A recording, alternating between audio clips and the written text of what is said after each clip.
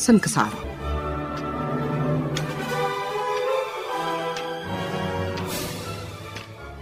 በየጊዜው በየወቅቱ በየስርዓት በየቤቱ ታሪክ አለ፣ ባህል አለ፣ እምነት አለ፣ ሕይወት አለ። ነውንም ነበረንም ለማወቅ በስንክሳር ኅብር ያላቸው ዶኪመንተሪ ዝግጅቶች ይቀርባሉ። ስንክሳር ዘውትር እሁድ ከ6 እስከ 7 ሰዓት በእናንተ ሬዲዮ በሸገር ኤፍኤም 102.1 ስንክሳር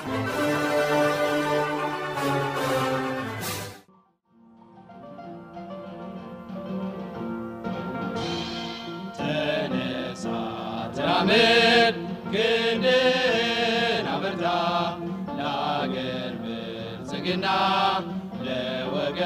አርባኛው የካቲት ለውጥ ትውስታ።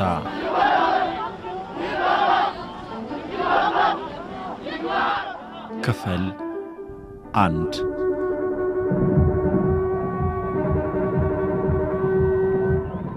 አዘጋጅ እሸት ያሰፋ።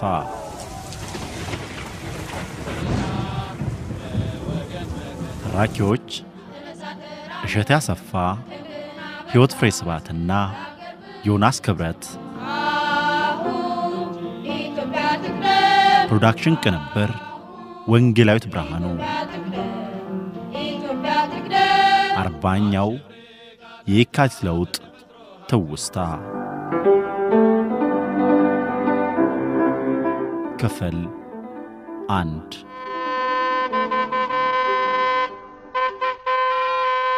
የካቲት ደረሰ። የየካቲት 66 የሥርዓት ለውጥ ማዕበል የሀገሪቱን ሸለቆና ሸንተረር ቆላና ደጋ በድንገት አጥለቀለቃል። እነሆ እንዲህ ከሆነ አርባ ዓመታት ተቆጠሩ። ኢትዮጵያ ነባሩን የፖለቲካ አስተዳደር ሥርዓት ሽራ አዲስ የአስተዳደር ሥርዓት ከለወጠች አርባ ዓመታት አለፉ። የየካቲት ለውጥ በድንገት ደረሰ።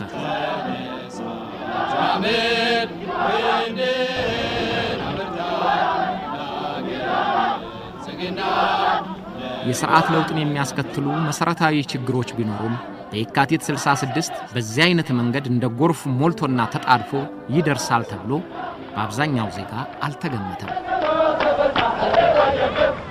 የሥርዓት ለውጥ ፈላጊ ሆነው ራሳቸውን ማደራጀት የጀመሩ የፖለቲካ ድርጅቶች ጭምር የየካቲቱ ለውጥ አንድ ምሁር እንዳሉት ሳይታጠቁ ደረሰባቸው። የካቲት የዘውዳዊ ሥርዓት ሹማምንት ለሆኑት ለውጥ የማይመጣ መስሏቸው እንቅልፋቸውን ሲለሸልሹ በጋለ ብረት ዘንግ ወግቶ ከተኙበት ምቹ አልጋ አስፈነጠራቸው። የካቲት 66 ለውጥ ማንኛውንም ኢትዮጵያዊ በበጎም ይሁን በክፉ ያልነካው አይገኝም። የለውጡ ውጤት መልካምና መራር መሆኑ ቢያከራክርም ከአንዱ የአስተዳደር ሥርዓት ምዕራፍ ወደ ሌላው የተሸጋገረበት ተደርጎ መቆጠሩ ግን እርግጥ ነው። ሃሌሉያ ታላቅ ምስራት ከብዙ ስር ዘመን ኢትዮጵያ ተፈ ሸገር 102.1 ኤፍኤም ሬዲዮ በልዩ ዝግጅቱ የየካቲት 66ን አርባኛ ዓመት ይዘክራል። ዝግጅቱ የአርባ ዓመቱን የለውጥ ሂደት እንደ ተሠራውና እንደነበረው ከብዙ በጥቂቱ ከረጁም ባጭሩ ለማሳየት ይሞክራል። የማያውቁት እንዲያውቁት፣ የሚያውቁትም እንዲዘክሩት ያስታውሳል።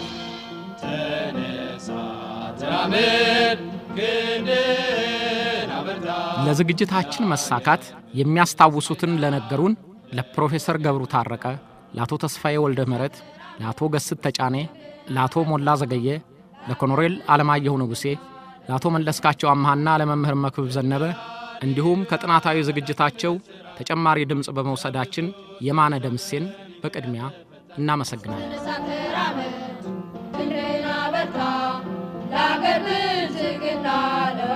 ከዛሬ አርባ ዓመታት በፊት በየካቲት ምን ሆነ? ለነገራችን ደርዝ ለመስጠት ከዚያ በፊት ለየካቲት የለውጥ ቋያ መቀጣጠል አስተዋጽኦ አድርገዋል ተብለው የሚነገርላቸውን ሲብላሉና ሲፋተጉ የቆዩ ጥያቄዎችንና ብሶቶቹን በወፍ በረር እንቃኛቸዋለን፣ በጥቅሉ እናጤናቸዋለን።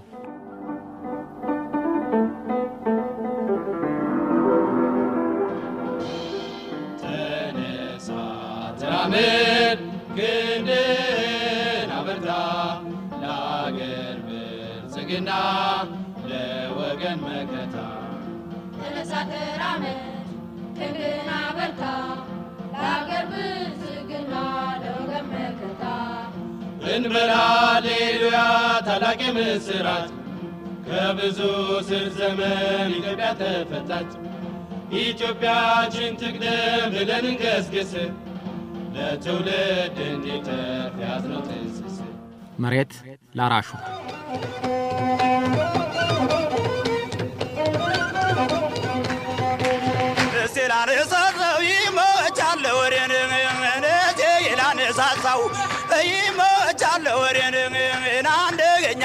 ተብሎን ተጽፏል ገበሬን ሳቤ ይላል ገበሬ በጎብላላ በሬ የኢትዮጵያ የመሬት አስተዳደር በተለያዩ ዓመታት ተነስተው ለነበሩ ገዢዎች የፖለቲካና የምጣኔ ሀብት ጉልበት ሆኖ ቆይቷል።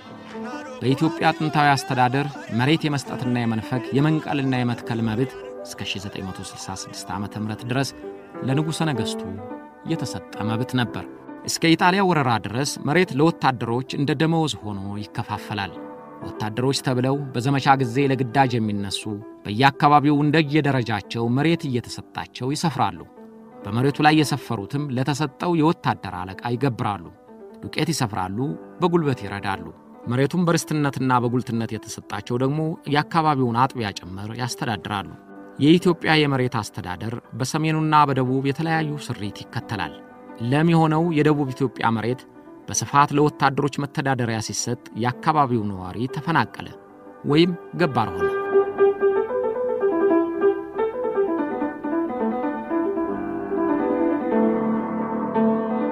ከኢጣሊያ ወረራ በኋላ ነባሩ የግብር ሥርዓት ተለወጠ። ኢትዮጵያ ዘመናዊ የሰራዊት አደረጃጀት ተከተለች። ወታደሮቹም ከግምጃ ቤት የገንዘብ የደሞዝ ተከፋይ ሆኑ። ግን መሬቱ ለባለቤቱ አልተመለሰም። የቁጥር ጦር ለሚባለው ተነቃናቂ ዘማች ይዞት የቆየውን መሬት አንዳንዱን ተወላጆች በርስትነት ሲይዙት፣ ሌላውን ንጉሡ ለፈቀዱት ሰጡት። ቀሪው ወደ ቤተ ርስት ተዛውሮ የንጉሡና ቤተሰቦቻቸው ንብረት ሆነ። የርስት ባለቤትነቱን የተነጠቀው ገበሬ የምርቱን ሲሶ እርቦውን አንድ አራተኛውን ገሚሱን በስጦታ አግኝቼዋለሁ፣ በውርስ ተቀብየዋለሁ ለሚለው ባለ ርስት መክፈል ነበረበት። ደካማ የምርት ገቢ ላለው ገበሬ ካመረታት ጥቂቱ ውስጥ ለባለ ርስቱ አካፍሎ ቤተሰቡን ለመመገብ አልተቻለውም። ድህነቱም ከቀን ወደ ቀን ባሰ። የባለ ርስቱን መሬት እያረሱ የሚኖሩት ጭሰኛ ገበሬዎች ባለ ሀብቱ ካልፈለገ ከነበሩበት ቤትና መሬት ላይ ያባረራቸዋል። ፕሮፌሰር ገብሩ ታረቀ በቀዳማዊ ኃይለ ሥላሴ ዩኒቨርሲቲ መምህር የነበረው የጭሰኛ ስርዓት የገባሩ ጭቆና፣ ድህነት እሱም አንዱ ዋናው ምክንያት ነበር። በተለይ በደቡብ ደግሞ የአርሶ አደሩ ጭቆና ሁለት ነገርን በጣምራ ያዘለ ነበር። የብሔር ጭቆና ከመደቡ ጭቆና ጋር መጣመሩ ነው የከፋ ያስመሰለው። የደቡቡ ሕዝብ ከሰሜኑ ሕዝብ በፖለቲካም በኢኮኖሚም የበላይነትን የያዘው የሰሜኑ ክፍል ነበር። የአማራና የትግራዩ ገዢ ክፍል ማለት ነው እንጂ የአማራውና የትግራዩ ሰፊ ሕዝብ ከሌሎቹ ባኗኗሩ ማለት ነው በድሃነቱ ከነዛ ከደቡባውያን የተሻለ ነው አልልም።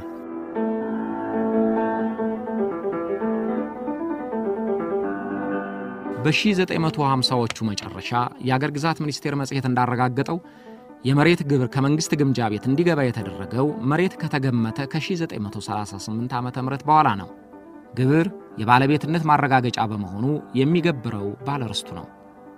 ገበሬው ዝናብ መጣ ቀረ ብሎ ለሚያርሰው መሬት የቀበሌ ገዢዎች በበኩላቸው ካለው ከፍሎ ጉቦ እንዲያቀርብላቸው ስለሚፈልጉ በሆነ ባልሆነው በውሃ ቀጥነው ያንገላቱታል። ለምስለኔው ሙክት ለጭቃው ወጠጤ ይህን ችዬ ነው ወይ ከአገር መቀመጤ እንዳለው አይነት ምሬቱ ከፋ። የምርት ማነስ፣ የምርቱ ሙሉ በሙሉ ተጠቃሚ አለመሆን፣ በአስገዳጅ ችግሮች መፈናቀል የገበሬውን ሕይወት የሰቆቃ አደረገው። ያለበትን የኑሮ ሥቃይ ለባለሥልጣኖች አቤት ቢልም አልተሰማም። ምሬቱ ሲበዛበት በአንዳንድ ቦታዎች በጎበዝ አለቃ እየተመራ መንግሥትን በትጥቅ ዓመፅ ለመቃወም ሞከረ። በደሉ የበዛበት ገበሬም በራያና ቆቦ እንደተደረገው ባለርስቱን ፊታውራሪ ጎበናን ገድሎ ወደ ዱርና ጫካ ተሰማራ። ለአቤቱ አስተዋጽኦ መጠቀስ ያለበት በጃንሆይ ጊዜ በየቦታው ህዝባዊ አመጾች ነበሩ። በተለይ እኔ ያጠናኋቸው የትግራይ፣ የባሌ፣ የጎጃም ናቸው። እነሱ ትልቅ አስተዋጽኦ አድርገዋል።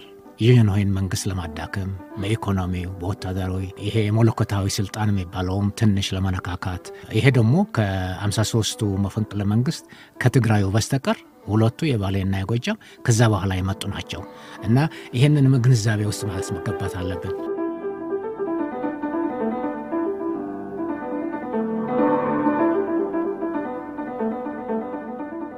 ነባሩ የመሬት ስሪት እንዲስተካከል የንጉሠ ነገሥቱ መንግሥት 33 ዓመት ሙሉ ሳይቻለው ቀረ። አቶ ተሾመ ገብረ ማርያም በንጉሠ ነገሥቱ መንግሥት የማዕድን ሚኒስቴር ሚኒስትር ደኤታ። ቀዳማዊ ሥላሴ ቢፈልጉ ይህን መፍታት ይችሉ ነበር፣ አልፈቱትም። አንዱ እንግዲህ የሚተቸው በሳቸው መንግስት ላይ ይህን ሊፈቱ ሲችሉ አልፈቱትም። ስለምን ራሳቸው ባለርስት ናቸው የሚባል ሀሜት ነው እንግዲህ ያለው። ቀዳማዊ ሥላሴ መንግስት መጨረሻ ላይ መንግስቱ ሲመጡ ምንድን ነው የሚተችባቸው የነበረው ትችት? ትልቁ እኮ የመሬት ጉዳይ ነው። ያ ነገር ቢስተካከል ይችሉም ነበረ። ቢስተካከል ይሄ ነገር ባልመጣ ነበር። ግን አማካሪው ብዙ ነው፣ ባለ ጥቅሙ ብዙ ነው። እድሜም መጥቶባቸዋል።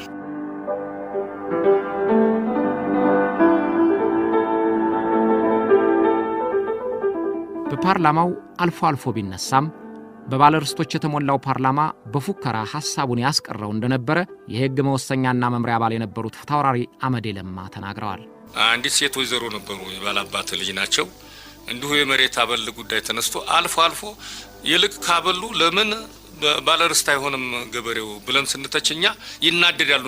መሳፍንትና መኳንንቱ ይናደዱና ይች ሴትዮ የራስ ማነት ልጅ ልጅ ናቸው። ተነስተው እንዴ እናንተ እኮ አታውቁትም እንጂ መሬት እኮ እንዲሁ የተገኘች አይደለችም። የእኛ አያት ቅድመ አያቶች እኮ አጥንታቸውን ከስክሰው ደማቸውን አፍሰው ዘምተው እኮ ያቆዩን እንጂ እንዲሁ መሬት እኮ ተሰጠን አይደለም ብለው ይተቻሉ። ሻለቃ አድማሴ ዘለቀ የሚባል አማካሪ ነበር። እሱ ምን ይላቸዋል? አይሜቴ ይህንን ይህን ዘፈነውን ዛሬም አልተውትም። አጥንቱን የከሰከሰው ደሙን ያፈሰሰው ህዝቡ ነው እንጂ የእናንተማ አባቶች የእናንተማ አያት ቅድመ አያቶች ጦር ሜዳም አይተው ያውቁም። ዘመቻ ብለው ያዛሉ፣ ሰራዊቱ ተነስቶ ይዘምታል።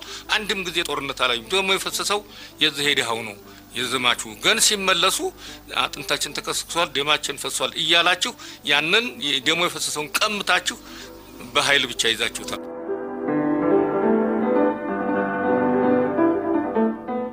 በእንቅርት ላይ ጆሮ ደግፍ እንደሚባለው ከ1960ዎቹ ጀምሮ ዘመናዊ ከበርቴዎች በእርሻ ሥራ ተሰማሩ። በዘመናዊ የእርሻ መሣሪያዎች እየታገዙ የቦሎቄና የበቆሎ እርሻዎችን አስፋፉ። በውጤቱ የእህል ምርት ተትረፈረፈ ቢባልም በትራክተር ለሚያርሱት ሰፊ መሬት ሲል ነባሩን ገበሬ ከሚያርሰው መሬት አፈናቀሉት።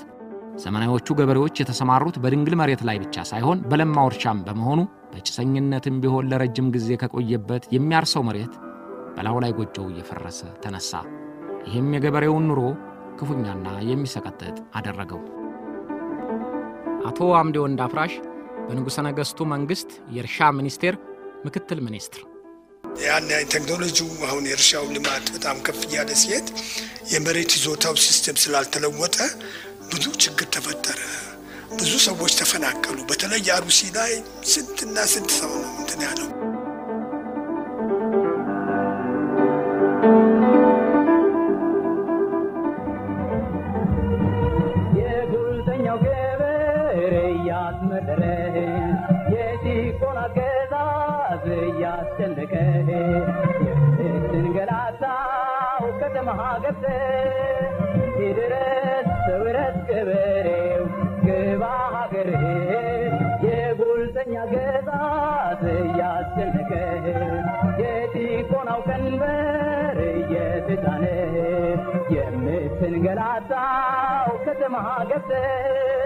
ይድረስ ሰውረት ገበሬው ግባ ሀገር ተነሳ ተራመድ ክንድን አበርታ ለአገር ብልጽግና ለወገን መከታ ለአገር ብልጽግና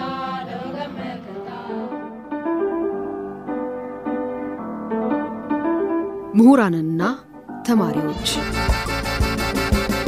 ተማር ልጄ ተማር ልጄ ወገን ዘመድ የለኝ ሀብት የለኝም ከእጄ አቤቱን ለማምጣት አስተዋጽኦ ካደረጉት ኃይሎች አንዱ የተማሪዎቹ እንቅስቃሴ ነው።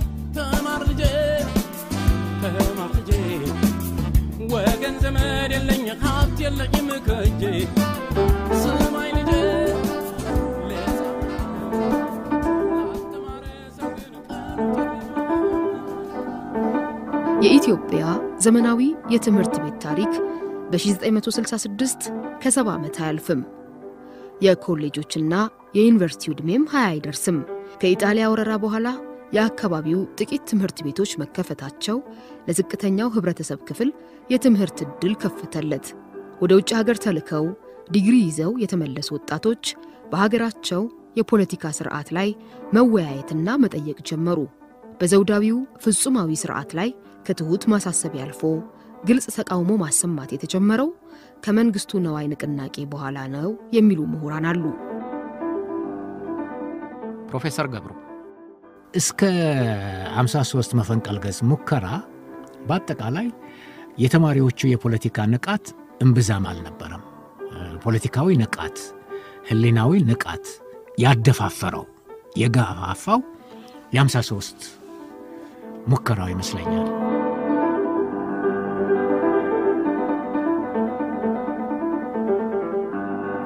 ከዚያ ወዲህ በዩኒቨርሲቲና በኮሌጆች የመንግስት ፖሊሲን የሚቃወሙት በይፋ ሆነ።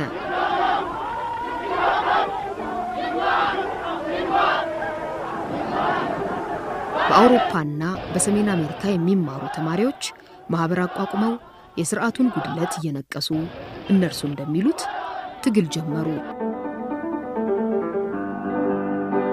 አቶ ተካሌ ገዳሙ በንጉሠ ነገሥቱ መንግሥት የ Planning ሚኒስትር ሲል ሲንከባለል የመጣ የመጡ problem ኦች ብዙ ነበሩ። አፄ ኃይለ ሥላሴ ኢትዮጵያን ወደ አዲሱ ስልጣኔ ለማምጣት ህልም ነበራቸው። የሚሰሩትም ከልጅነታቸው ጀምሮ ይህንን ነው። እሳቸው የትምህርት ማስፋፋት ህልማቸው እና ስራቸው እየቀጠለ ሄደ። ምንድን ነው ይሄ የፈጠረው? አፄ ኃይለ ሥላሴ አስተምረው አስተምረው እንደኛ ያሉ ሰዎች ከኛ በኋላ ደግሞ ሌላም ትውልድ ሲመጣ ስለ ኢትዮጵያ ለውጥ መሰረታዊ የሆኑ ጥያቄዎች የሚጠይቁ ሰዎች ተፈጠሩ። አፄ ኃይለ ሥላሴ ለኢትዮጵያ ያወጣሁላት የሰራሁላት ስራ በቂ ነው የሚሉ ሰው ብዙ ሰርተዋል በእውነት ግን እሳቸው ያስተማሯቸው ሰዎች ከስር ከስር እርስዎ የሚሰሩት ስራ በቂ አይደለም፣ ኢትዮጵያ ከዚህ በተሻለ ፍጥነት መሰልጠን ትችላለች፣ እንደውም እርስዎ ነው አሁን የልማት እንቅፋት የሆኑት የሚል ትውልድ መጣ። እሳቸው የፈጠሩት ትውልድ ማለት ነው።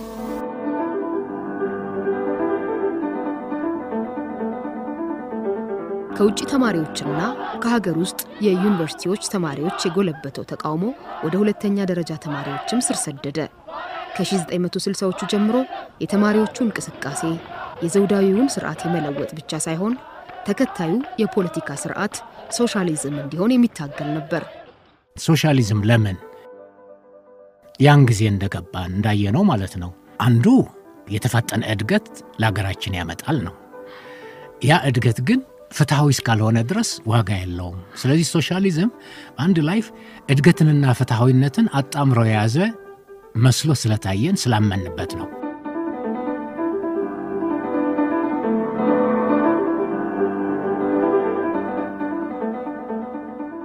በውጭ ሀገሮች በሚሰራጩ ጽሑፎችና በቀዳማዊ ኃይለሥላሴ ዩኒቨርሲቲ የሚታተመውን መጽሔት የትግላቸው አቅጣጫ ማሳያ አድርገው ቀሰቀሱ። በዩኒቨርሲቲ ስብሰባ ላይ በሚቀርቡ ግጥሞች የድሃውን ሕዝብ አስከፊ ስርዓት ሰበኩ። ተማሪዎች መሬት ላራሹ የሚለውን መፈክር አንግበው ስር ነቀል የመሬት ክፍፍል እንዲደረግ በተከታታይ በሰላማዊ ሰልፍና ትምህርት በማቆም ጠየቁ። እስከ ዛሬ መለያና መጠሪያ የሆናቸውን የመሬት ላራሹን ጥያቄ ይዘው ተነሱ። የብሔር ጥያቄም ማቀንቀን የጀመሩት የዩኒቨርሲቲ ተማሪዎች ናቸው።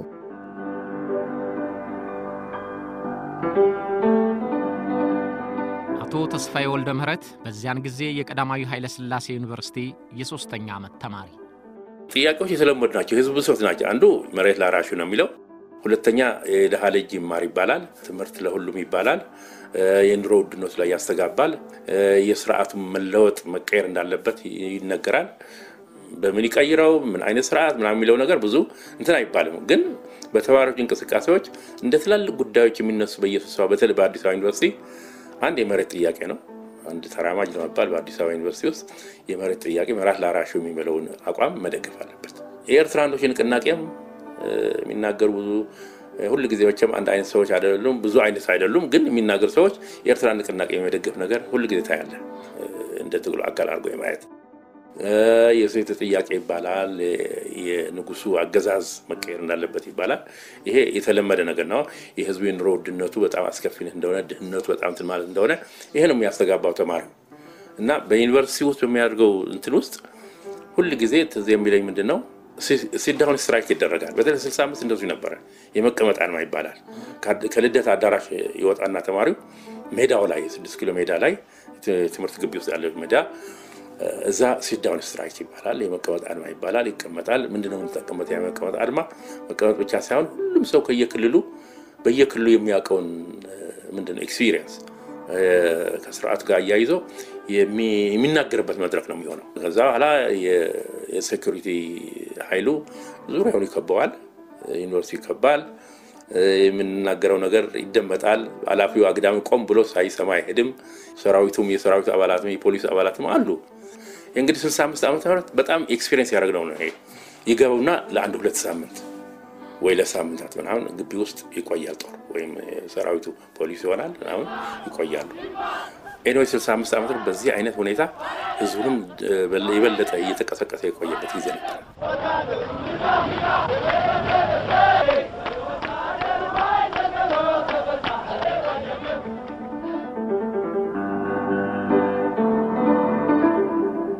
አብዛኛው ተቃዋሚ ተማሪ ሶሻሊዝምን አውቆት ይታገል ነበር ለማለት ቢያስቸግርም በጅምላ መደገፉ ብቻ ለዘውዳዊው ስርዓት የጎን ውጋት ሆነ። በኮሚኒስት አስተሳሰብ influence አለ።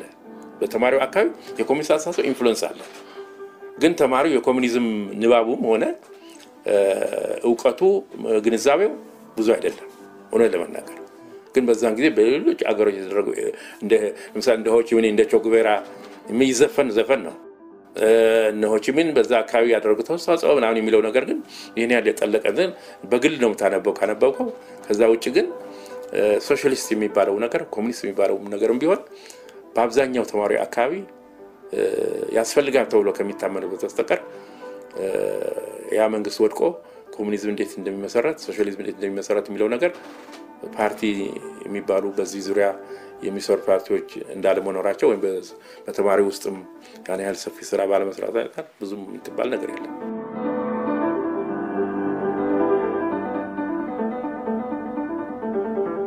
የአጼ ኃይለ ሥላሴ መንግስት የተማሪዎችን አመፅ ለመቆጣጠር የኃይል እርምጃ እስከ መውሰድ አለፈ። በ1962 የጥላሁን ግዛው በማግስቱ ደግሞ ተማሪዎች መገደላቸው የበለጠ የትግል ጉልበታቸውን አደረጀው። አቶ መለስካቸው አመሃ በዚያን ጊዜ የሁለተኛ ደረጃ ተማሪ ትምህርት ቤት ተማሪ ነበርኩኝ። ጥላሁን ግዛው የተገደለበት ጊዜ ነው የሚለኝ ታህሳስ ወር ውስጥ ነው ባለሳሳት እና የዚያን ጊዜ ሁሉም ተማሪ በተለይ ከፍተኛ ትምህርት ቤት ከፍተኛ ሁለተኛ ደረጃ ትምህርት ቤት ከሚባሉት ወደ ዩኒቨርሲቲው ቅጽር ግቢ ስድስት ኪሎ ማለት ነው ዋና ግቢ ማለት ነው ያልገባ ያልመጣ ተማሪ አለ አይመስለኝም። እና እሱ ሁኔታ በጣም ትዝ ይለኛል። ለቅሶ ነበረ፣ ግርግር ነበረ፣ መዓት ነገር ነበረ። ብቻ ወደ መጨረሻ ላይ ክቡር ዘበኛ መጣና በታተነ። እንዳልሆነ ሆኖ ተበታተነ፣ በየአቅጣጫው ተበተነ። እኔም በአጋጣሚ ነበርኩኝ። የዛን ጊዜ የአስለቃሽ ጋዝ ወይም የአስለቃሽ ጢስ አይኔ እንደለበለበኝ ትዝ ይለኛል። መዝሙሮች ነበሩ። አሁን በትክክል አላስታውስም እንጂ ግጥማቸውን የግጥም መያዝ አይሆንልኝም። ነጻነትን ነጻነት ነጻነት የምትሹ አትሽሹ፣ ጥላሁን ጥላሁን ለምን ሞተ፣ ዋለልኝ ዋለልኝ ለምን ሞተ? እና ይህን ለዚህ መልስ የሚሰጡ ስንኞች ነበሩ። ይህን እየተባለ ነበረ የሚዘመረው። እና መጨረሻ ላይ ወደ ስምንት ሰዓት ይመስለኛል ባለሳሳት ከቀኑ ወታደሮች ይገባሉ። በተለይ ክቡር ዘበኛ እንደነበረ ሲለኝና አይተኩስም፣ ክቡር ዘበኛ ወታደሩ የህዝብ ወገን ነው እያሉ ንግግር የሚያደርጉ መፈክር የሚያሰሙ ሰዎች ነበሩ። ተማሪዎች የዩኒቨርስቲ አላውቃቸውም ነኝ ግን እንደዚህ ያለ ነገር ነበረ። አሁን የዛን ጊዜ Arts Building የሚባለው እዛው ቆመን እናዳምጣለን። ከዛ ንግግር የሚያደርጉ ሰዎች አሉ። ስለ ተማሪው እንቅስቃሴ፣ በገበሬው ላይ ስለሚደርሰው ግፍ፣ ይህን ይህን ጭቆና የሚናገር የሚተርክ ንግግር ነው የሚያደርጉት እነሱ እና የዛን ጊዜ ሲመጡ ብዙም ጉዳት ያደርስብናል ብለን አላሰብንም ነበረ እኛ ጥቂት ቆይተው እንድን በሜጋፎን በዚህ በድምፅ ማጉያ ተማሪው እንዲበተን ማስጠንቀቂያ የሰጡ። ወዲያው ግን አንድ ጥይት ጮኸ። ከዛ በኋላ ተኩስ በተኩስ ሆነ። እንዳልኩ ሁሉም በየአቅጣጫው ተበታተነ።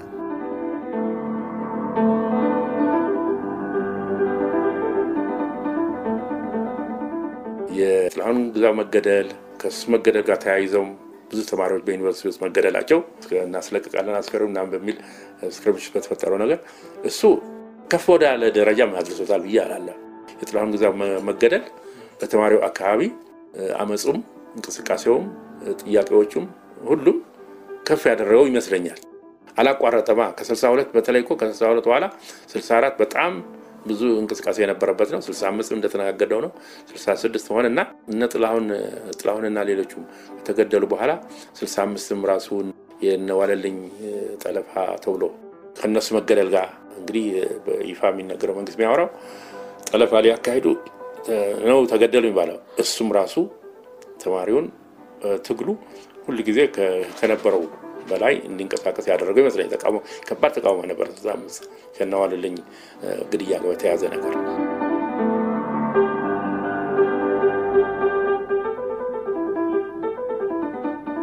የበለጠ እየተቃወሙ ትምህርት በማቆምና ሌሎችን በመቀስቀስ ተቃውሞ ጠነከሩ።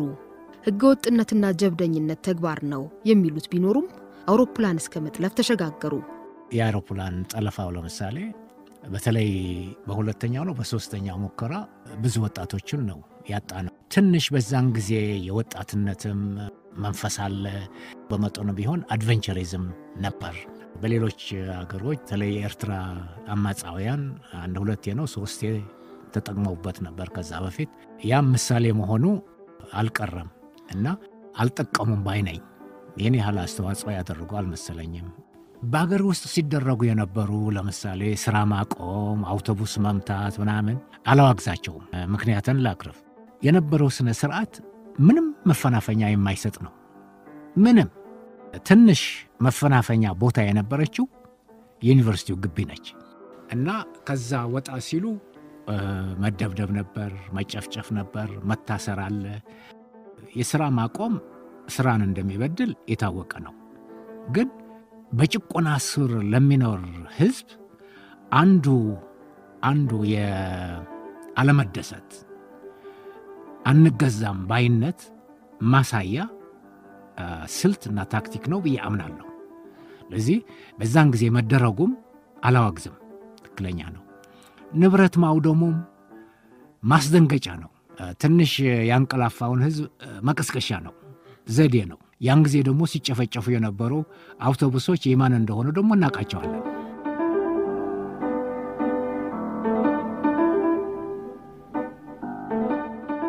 የአፄ ኃይለሥላሴ መንግስት እያደር ምሁራንም እየጨመረ የሄደውን የተማሪዎቹን የተቃውሞ እንቅስቃሴ መግታት አልቻለውም። በ1966 መዳረሻ የተቃውሞ ዓመፅ በሀገሪቱ ባሉ ሁለተኛ ደረጃ ትምህርት ቤቶች በሙሉ ተዳርሷል።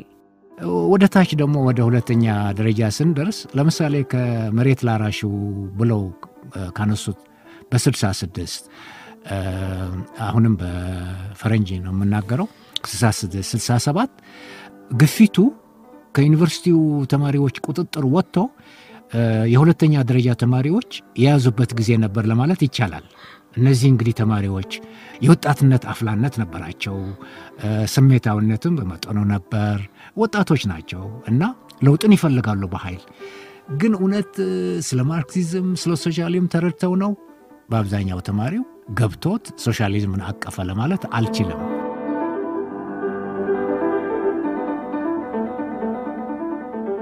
በውጭ ሀገር ወጣቶች የፖለቲካ ድርጅት ሲያቋቁሙ፣ አንዳንዶች የትጥቅ ትግል ለመጀመር ሲንቀሳቀሱ የአጼ ኃይለሥላሴ መንግስት የአፍዝ አደንግዝ እንደያዘው አንዳች ጥገናዊ ለውጥ ለማምጣት አልተንቀሳቀሰም። በ1960ዎቹ አጋማሽ ጀምሮ በብዙ ኢትዮጵያውያን ዘንድ በገበሬው፣ በተማሪው፣ በምሁራኑ፣ በሰራተኛው ዘውዳዊ አገዛዝ የተነቀፈ ሆኖ ነበር። ለመለወጥ የማይችል ሀገሪቱንና ሕዝቦቿን ከድህነት ማቅ የሚዘፍቅ መሆኑ በብዙዎች ዘንድ የታመነ ይመስላል።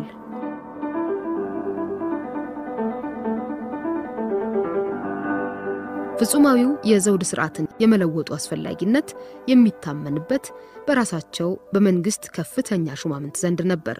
ንጉሱ በሕገ መንግስታዊ ገደብ ቆይቶ የፓርላማ አስተዳደር ስርዓት እንዲሰፍን የንጉሱ የረጅም ጊዜ አገልጋዮች ጠይቀዋቸዋል።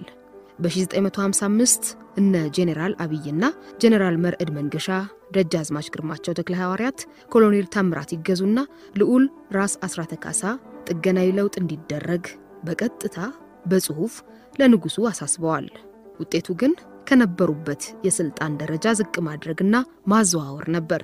ውጭ ጉዳይ ሚኒስትሩ ከተማ ይፍሩ በግል በደብዳቤ ጃን ሆይ ስልጣኑን ይቀንሱ በማለታቸው ወደ ንግድ ሚኒስቴር ተዛውረዋል።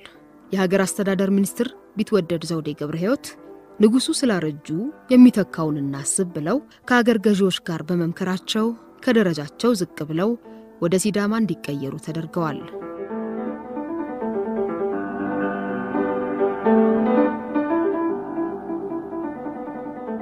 ይሁንና በዘውዳዊ ስርዓት መለወጥ አብዛኛው የሚያምነውን ያህል ስር ነቀል ለውጥ የሚፈልጉት ተማሪዎችና ምሁራን ጭምር ተተኪው እንዴትና ማን ይሁን የሚለውን በቅጡ አላሰቡበትም። ንጉሱን ከስልጣን ማውረድ ላይ እንጂ ተተኪውን ባለማሰባቸው ለውጡ ሲመጣ ዱብዳ ሆኖባቸዋል። ወይም አንድ ምሁር እንዳሉት ሳይታጠቁ ደረሰባቸው። ባላሰብነው ወቅት ባላሰብነው ጊዜ ነው የደረሰው። አቤቱን ለማምጣት አስተዋጽኦ ካደረጉት ኃይሎች አንዱ የተማሪዎቹ እንቅስቃሴ ነበር። አብዮቱ የደረሰበት ወቅት እና ሁኔታ ፈጽሞ ባልጠበቅነው መንገድ ነበር እና ለዛ በቅጡ የተዘጋጀን አይመስለኝም ነበር እና አንዳንድ መደናበርን ፈጠረ። ከውጭ ተይዞ የመጣውን አቋማችን የሁለቱ በተለይ የሁለቱ ድርጅቶች አቋም አከረረው፣ አጠናከረው። በእንደዛ አይነት መንገድ በዛን ሰዓትና ወቅት ይደርሳል ብለን አልተዘጋጀንም፣ አላሰብንም። ዝግጅቶች ሳናደርግ ነው፣ በድንገት ነው የደረሰብን ለማለት እችላለሁ።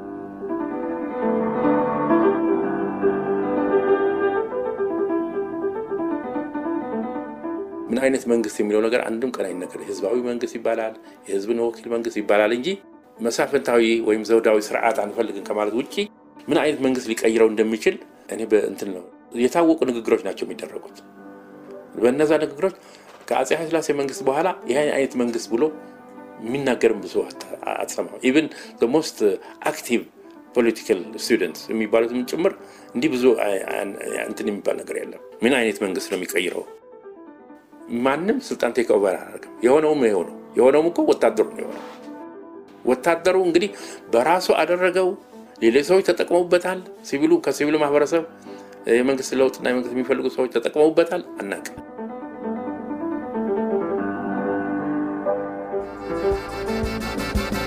ተማር ልጄ ተማር ልጄ ወገን ዘመድ የለኝ ሀብት የለኝም ከእጄ ስማይ ልጄ ለፀሐይ ነው።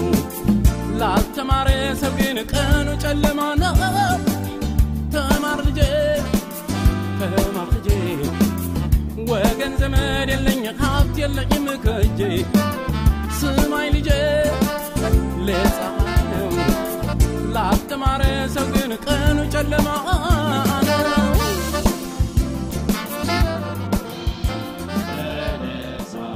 ተራመድ ክንድህን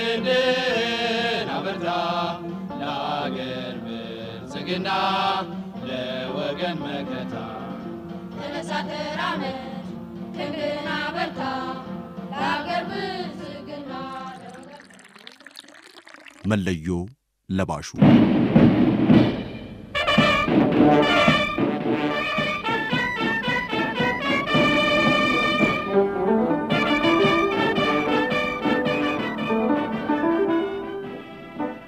የኢትዮጵያ ዘመናዊ የወታደር አደረጃጀት ከ1917 ይጀምራል። አልጋ ወራሽ ተፈሪ መኮንን ሥልጣናቸውን ማጠናከርና በዚያ ጊዜ ከሚያንገራግሩባቸው መኳንንቶች ልቆ ለመውጣት የክብር ዘበኛን ዘመናዊ ሰራዊት አደራጁ። የኢጣሊያ ወረራ ከመከተሉ ሁለት ዓመቶች በፊት የመጀመሪያዎቹ የጦር መኮንኖች ከሆለታ ጦር ትምህርት ቤት በውጭ ዜጎች ሰልጥነው ተመረቁ። ከነጻነት በኋላ በእንግሊዞች እርዳታ የምድር ኃይሉና የፖሊስ ኃይሉ በዘመናዊ መልክ ተደራጀ። በተከታታይም ራሳቸው አፄ ኃይለ ሥላሴ በምልመላ ሥራው የተሳተፉ የአየርና የባሕር ኃይሎች በዘመናዊ መልክ ተቋቋሙ።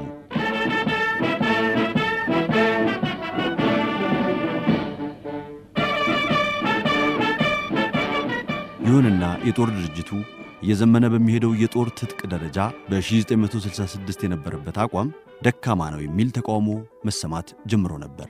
ነፃነቷን በቅርብ ያገኘችው ሶማሊያ በትጥቅም በደሞዝም የላቀች ስትሆን ኢትዮጵያ ግን በሰመመንታ ያለች እየተባለ በመንግሥት ላይ ቅሬታ ሲቀርብ ቆይቷል።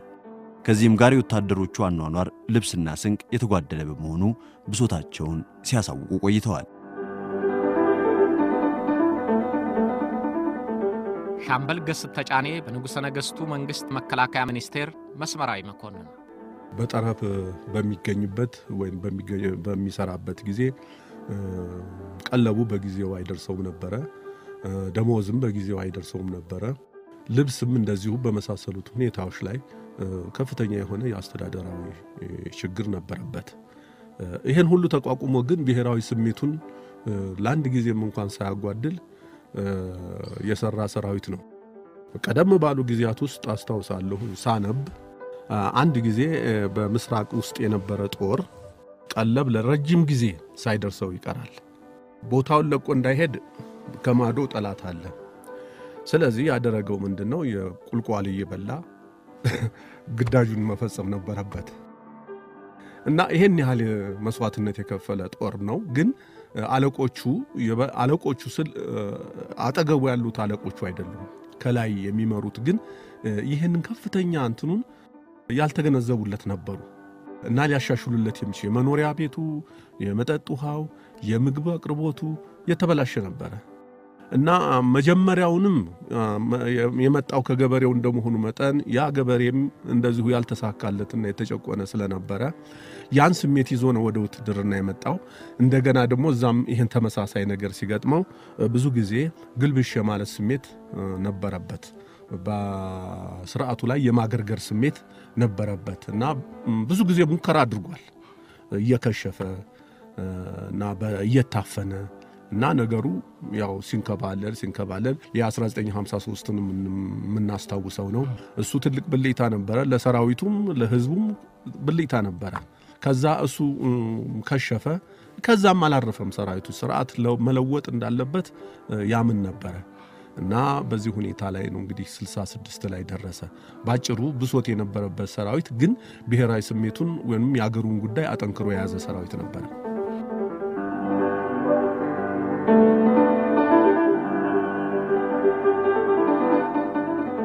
ሻምበል አለማየሁ ንጉሴ በንጉሠ ነገሥቱ መንግሥት መከላከያ ሚኒስቴር የአራተኛ ክፍለ ጦር የአራተኛ ብርጌድ ሞርተር አዛዥ።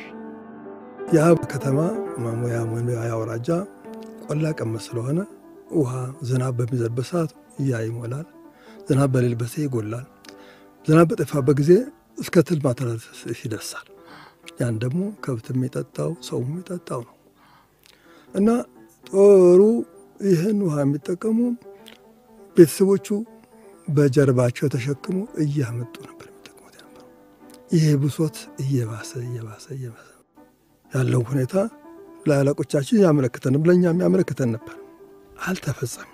ሌሎች ችግሮች ምን አለ? የቀለብ አለ፣ የመኖሪያ ቤት አለ፣ ረዥም ጊዜ የቆላ ሰራዊት የመኖር ጉዳይ አለ። የቀለቡ ቀለቡ አፈር ነው የሚሆነው። ከጤፉ ጋር ተደባርቆ አፈር ነው የሚመጣው። መኖሪያ ቤት ቀደም ብሎ ከአርባ ቀደም ብሎ የተሰራና ከሳርና ጭቃ የተሰራ በሆኑ ሳሩ እያረጀ እየደቀቀ በሚሆን የተነሳ ይህንንም እንዲሻሻለት ቀድሞ ይጠይቅ ነበረ ሰራዊቱ። field jacket ለጦሩ ታደለ ለበሰ። ከዚህ በኋላ ግን ይሄ ልብስ አይደለም ትጥቅ ነው።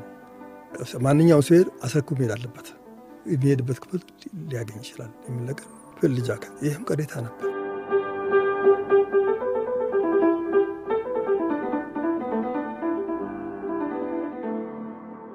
አቶ ቡልቻ ደመቅሳ በንጉሠ ነገሥቱ መንግሥት የገንዘብ ምክትል ሚኒስትር አንድ ጊዜ ጄኔራል መርዕድ መንገሻ የመከላከያ ሚኒስትሩ ኦጋዴንን ዞሮ መጡ እና ሚኒስትሮች ምክር ቤት ውስጥ አለቀሱ። የወታደሮቹን ሕይወት አይተው መጥተው ሰው እንደዚህ አይኖርም ብሎ አለቀሱ። ግን በአንድ ጊዜ እሳቸው ያሉትን ሁሉ ማድረግ አልተቻለም። አንዳንድ ወር በቂ ገቢ አይገኝም ደሞዝ ለመክፈል የእነሱ ግን አስቀድሞ ነው የሚከፈለው።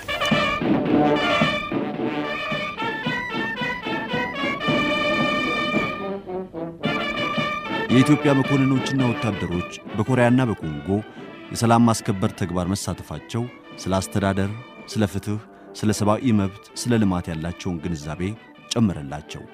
አገራቸው ያለችበትን ኋላ ቀርነትም አጉልቶ አሳያቸው። በውጭና በሀገር ውስጥ የጦር ትምህርት ቤቶች የሚመረቁ መኮንኖች ለትምህርት የተላኩ የበታች ሹማምንት የንጉሡ ፈላጭ ቆራጭ አስተዳደር መስተካከል እንዳለበት ገባቸው። አቶ ተስፋዬ ወልደ ምህረት ትዝ የሚለኝ የሚገርመኝ እኔም ራሴ ያዳምጣሉ፣ ወታደሮቹ ያዳምጣሉ።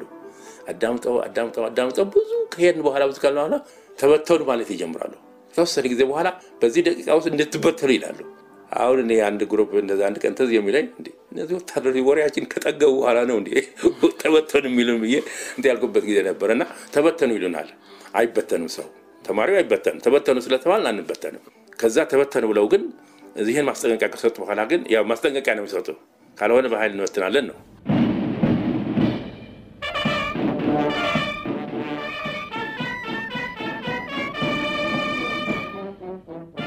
አንዳንድ የመከላከያ ሰራዊትና የፖሊስ አባላት ዩኒቨርሲቲ ትምህርት ቆይታቸው ተራማጅ ከሚባሉት የዩኒቨርሲቲ ተማሪዎች ጋር በመነጋገራቸውና በማጥናታቸው የለውጥ ስሜታቸው የጋለ ሆኖ ነበር።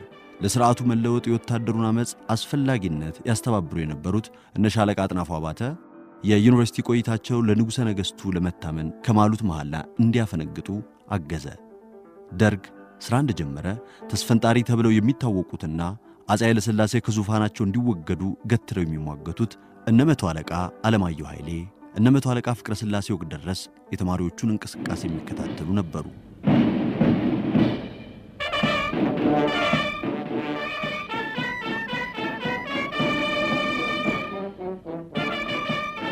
ወታደሮችና በሌላ ማዕረጎች ኑሯቸው የከፋ መሆን ለለውጥ መንፈሳቸው አነቃቃው።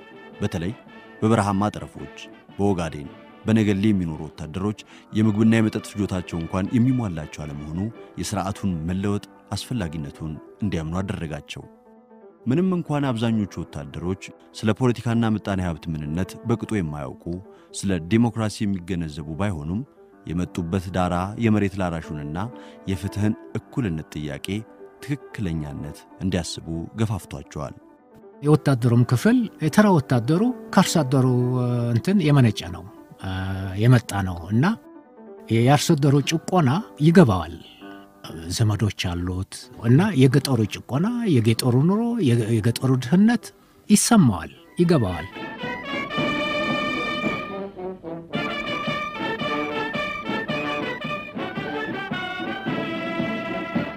ስለዚህ የካቲት 66 ሲደርስ አብዛኛው የጦሩ አባላት በኑሮ የተማረሩ ላዘቀዘቀ ድህነታቸው ሰበብ የንጉሠ ነገሥቱ መንግሥት መሆኑን ያመኑ የጦር አዛዦችን የጠሉ ሆነው ነበር። ጥቂት ቢባሉም በዚህ ተንተርሰው እንደ ናይጄሪያ፣ ሱዳንና ግብፅ ወታደሮች ወታደራዊ ሥልጣን ለመያዝ የሚያደቡ መኮንኖችም ነበሩበት። የሀገሪቱ የድህነት ምንጭ በመሆን የዘውድ ሥርዓቱ መወገድ የችግሮች ሁሉ መፍቻ ቁልፍ ተደርጎ በአንዳንድ መኮንኖችም ይቀሰቀሳል። ከ1950ዎቹ መጨረሻ ጀምሮ በብሶት ረመጥ እየተፈጀና እየተቃጠለ የመጣው ቅሬት የዘውዱ ሥርዓትም ይቺን አገር ሊመራት እንደማይችል ሳይነጋገር የተግባባበት ይመስላል። የመንግሥትን ስንፍናና ጨቋኝነት፣ ሙሰኝነት በየዜማው ማንጎራጎር የተጀመረበት ወቅት ነው።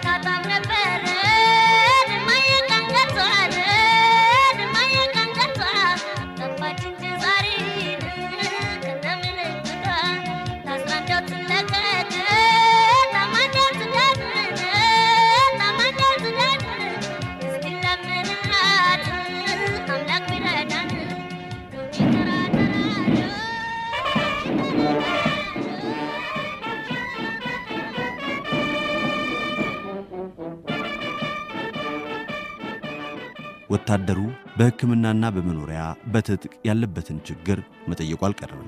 ግን በቤተ መንግሥቱ በሚመከረው ሐሳብ ተቀባይነት አላገኘም። ቅሬታቸው ተሰምቷል ከተባለው በ1965 በጥቅምት ወር የተፈቀደው የቀለብ መደጎሚያ ሰባት ብር ነበር። ያም ቢሆን ድጎማ እንጂ የደሞዝ ጭማሪ ባለመሆኑ ሰራዊቱን ከፋው። ድጎማውን በቅሬታና በቀዘቀዘ መንፈስ መቀበሉን የነገሌ አራተኛ ብርጌድ ሞርታር አዛዥ ያዩትን ይናገራሉ። ብርጌዱ አዛዥ ጦሩ እንዲሰበሰብ ብለው ኳስ ሜዳ ላይ ጦሩ ተሰበሰበ። ከዚህ በኋላ እንኳን ደስ አላችሁ፣ በግርማዊ ቀዳማዊ ሥላሴ መልካም ፈቃድ ደሞዝ ተጨምሮላችሁ፣ ደሞዛችሁ ብር ሰባት ተጨምሮላቸው ለቀለባችሁ ደግሞ ማሻሻያ ስምንት ተጨምሮላችኋል። ያ ጦሩን በጣም በጣም በጣም አስቆጣው። እኛ የሰማነው አስራ አምስት ብር ተጨምሮላቸዋል። እንዴት ሰባት ብር ይሉናል? ቀለብኛ ቀለቡ ይኸው አፈር እየሆነን ያለው ምን ሊያደርጉት ነው? አሁን ቀለቡ ላይ የተጨመረው። ከዚህ በኋላ ምስጋና መቅረብ ስለባለበት መለያችን አንሱ ተባለ። መለያ አነሱ።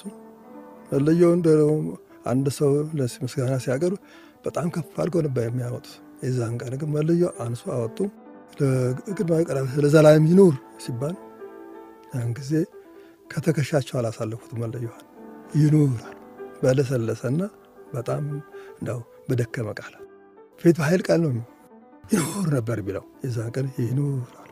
ቅሬታቸውን ማሰማታቸውም በግልጽ ታየ። ከዚህ በኋላ አሰናብተው ሲሰናበት እኔ እንጃ እንዴት አድርጎ እንደተስማሙ አላውቅም። መዝሙሩም እንዴት አድርጎ እንዳወጧት አላውቅም። እያንዳንዱ ሻለቃ መዝሙር እየዘመረ ሄደ። ሎሚ ተራ ተራ ሎሚ ተራ ተራ ሰባቷን መልቷን ስምንቷን አደራ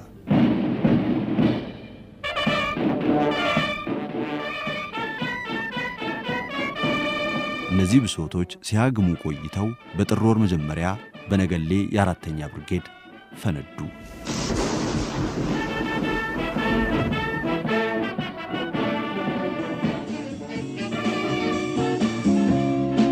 ትእዛዝ ማክበር ወታደር ተገቢው ነው።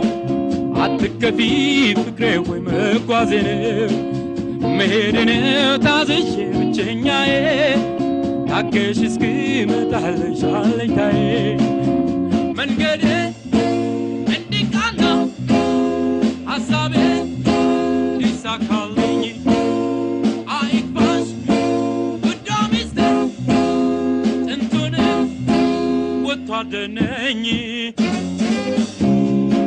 በእግዚአብሔር ስም እያለሁኝ አምርሬ ልሞትላት ለውዲቱ ሀገሬ ይልቅ ጸልይ ከአንጀትሽ አስታውሽኝ።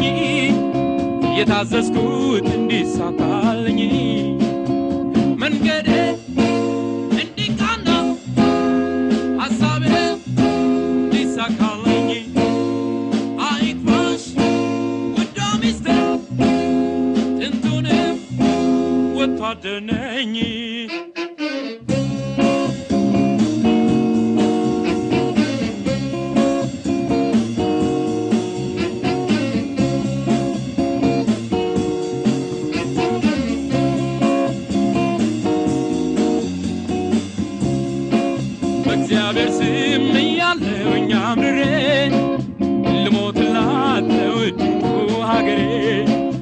ይልቅ ጸልይ ከአንጀትሽ አስታውሽኝ የታዘዝኩት እንዲሳካልኝ ወታደር ነኝ ወታደር ነኝ ወታደር ነኝ ወታደር ነኝ ወታደር ነኝ ወታደር ነኝ ወታደር ነኝ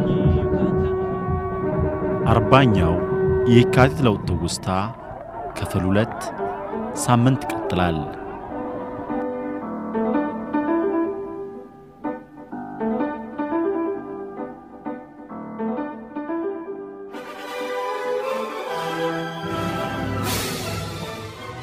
ስንክሳር